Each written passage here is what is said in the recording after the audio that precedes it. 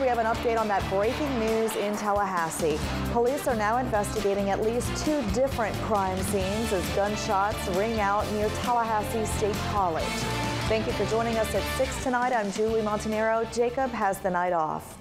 That gunfire prompted TSC students to shelter in place and a lockout at Lively Tech next door. An all clear has sounded, but police are now focusing on scenes off campus.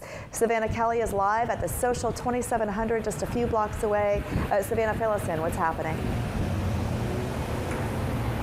Yeah, Julie, this is where police say this whole thing started. TPD says this was a home invasion turned shooting.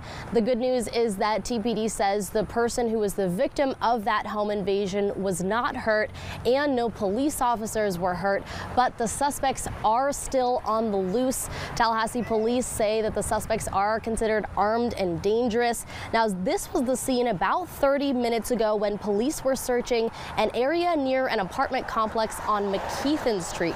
A Tallahassee police spokesperson says the suspects fled the social and then came to that location.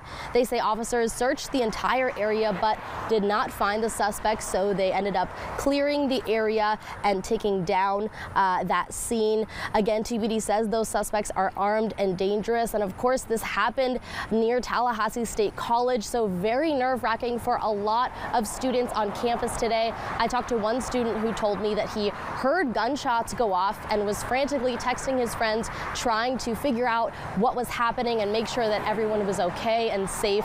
So a scary day to be sure. We will keep you updated as we learn more from police uh, when and if those suspects are located. But for now, Julie, back to you. Yeah, some frightening moment. It's in a very busy area there. Thank you, Savannah, for your updates this afternoon.